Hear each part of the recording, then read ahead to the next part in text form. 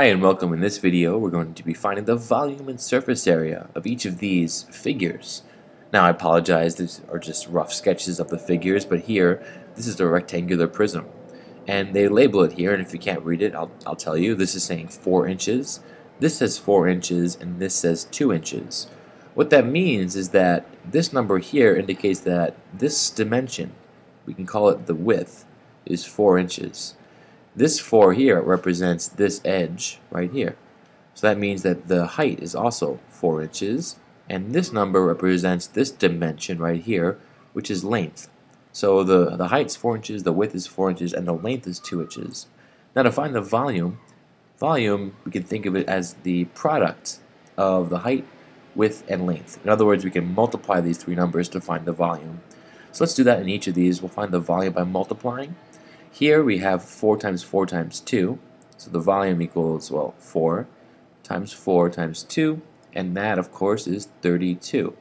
Now in units, you could say 32 cubic inches because we're measuring in inches, and what you're really finding is how many inch cubes would fit inside this cube. Like if you were to stuff it full of cubes, you're saying 32 of them would fit. So instead of saying inch cubes, since it's a lot to write, I might just write inch cubes like this, which means inch to the third power. That's a 3. Okay, so that's that one. Here, let's change colors. Let's move to orange and multiply here. This time, the width, we could say, is 1.5. Right? The height is 10. And here, the length is 4.5. So now to multiply these three, we're multiplying 1.5, right? Times 4.5 times 10 and here you can do the long multiplication or you might have some other technique. But uh, when we do this of course you should get well 1.5 times 1.5 times 10 1.5 times 1.5 is 2.25 times 10 is 22.5 but you can work that out if you'd like. Here in the last one now we have a width of 6.8 right a length of 6 and a height of 2.5. So the volume will equal 2.5, the height, and you can do this in any order. You don't need to start with the height, just like here I started with the width. Um, you can mix it around. Oops, I just realized a mistake. Sorry about that. Here 1.5 times, it's times 4.5. I said times 1.5. So 1.5 times 4.5, that times 10, you should get 67.5 and then cubic inches. Here again, I'm sorry, the height is 2.5, the width is 6.8, and the length is 6. So we're multiplying for this volume 2.5 inches times 6.8 inches times 6 inches and here we're going to get cubic inches again, so 2.5 times 6.8, right? That's which is 17 times 6, 102 cubic inches. So, and you could write cubic inches, but I'm going to write it like this, cubic inches. We're writing as inches to the third power. So we have this volume and this volume and this last volume. So I mean, in, you know, when you're looking at this, maybe it surprises you that, that this one holds the most and that this one holds the least just by looking at them. And that could be because my drawings are terrible, but you should think about the relationships between these volumes and the dimensions, right? I'll leave it to you to start thinking about that, and then let's make a prediction. What what do you think will have the most surface area here? Um, and then let's test that by calculating it. Now surface area is just the sum of the areas of the faces of a shape. So a face you can think of right the sides if this is a cube if this was a cube each face would have a different number on it like a piece of like a dice like if you're rolling a number cube. So there are six faces and the surface area is just the sum of those faces.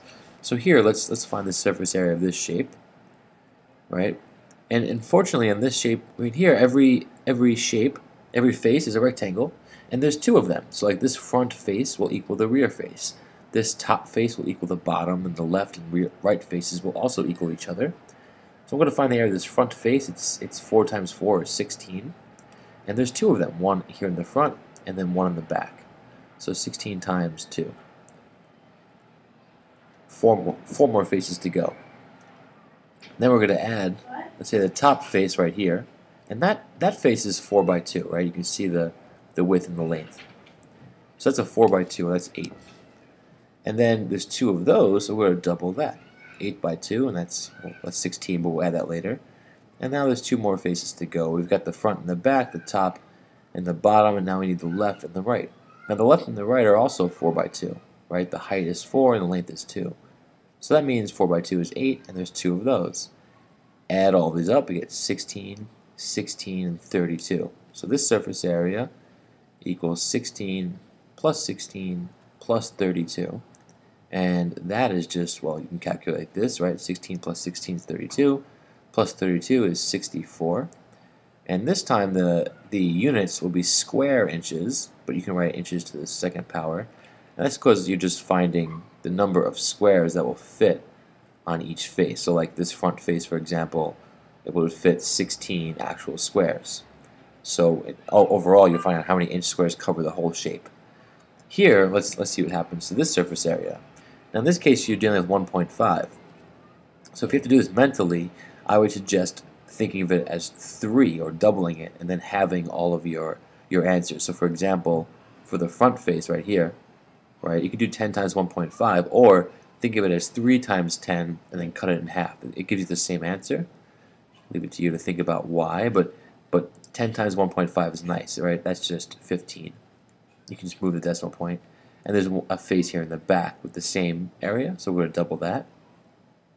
Okay, now the top face right here, well that's just 1.5 times 4.5 and that one I'm going to plug into the calculator to save time and, and space here. 1.5 times 4.5 is 6.75 and we're going to double that because there are two faces with those dimensions, top and bottom. The right face right here has a height of 10, right, and a length of 4.5. Now 10 times 4.5 is nice because the decimal point will move once to the right, and that's just 45. And there are two of these faces. So now we want to add up all this. We have 30, right, plus, well, 6 times 2 is 12. Um, 0.75 times 2 is 1.5. So that's 13.5, right? 6.75 times 2 is 13.5 and then we're adding 90 because 45 times 2 is 90. Add these up and we get, well, 90 and 30 is 120 plus 13 is 133 plus 0.5, 133.5 and that's square inches. So here we have our next surface area. And just notice, I mean, look how much larger this surface area of this shape is than the other one, even though the volume um, well, the volume was double, actually the surface area is double as well, pretty much, um, which is a nice and interesting relationship. Look at that. The volume here, 32, surface area is 64. Volume here, 67.5, right? And here, the surface area basically almost double. That's interesting. I'll, we, might, we might come back to that one. But let's keep going and find one last surface area. Here, this front face and the rear face are the same, right in the back and those are both 6.8 by 2.5. So our first our first face combination is 6.8 times 2.5, which I'm gonna you can do the long division for that one. But if I plug in the calculator here, I get 6.8 times 2.5, and that's just 17, right? There's two faces, so we double that. And now the right face over here, well, that's 2.5 by by 6, and that's just like two and a half times 6, which is just 15. And there are two of those faces, so 15 times 2. And then there's one last combination, the top here and the bottom, those are the same. Those are 6.8 by 6. So 6.8 times 6, sorry, 40.8, right? And we're going to double that as well. So 40.8 times 2 and now I want to add up all these surface areas. So we get 34 plus 30 plus, well, this is just 91.6, right? 40, oh, 81.6, sorry. Right? 34, oops, 34 plus 30 plus 81.6, right? Because 40.8 times 2 is, yeah. So here we add this up, we get 64 plus 81.6, and that's our surface area. Add these two up, 64 plus 81.6, and we get 145.6 and that's square inches. So, I mean, aside from just purely calculating here, and this is a, a routine or practice problem with lots of arithmetic in here, but, you know, notice that the surface area is not always double the volume. It only happened in the first case. Here, that, that the surface area of 64 was double 32. Here was almost double, right? 67.5 times 2, what's that, 120, 134, 135, and we have 133.5, close. But here, the surface area is 145.6, but the volume is 102. So in a sense, this shape is the most efficient, right? Because it held the most, and the surface area, although the surface area was the highest, it wasn't even close to double the volume. And maybe I'll leave it to you to think about what, what makes this shape more efficient than this one. And here, um, this shape is also ex extremely efficient, but but it still takes double the surface area to hold the volume that it has, and you might think about why that is. You know, how was it that this worked out to be the most efficient? So I hope this gets you started on, on some of the fun investigations you can have with volume and surface area. Thanks.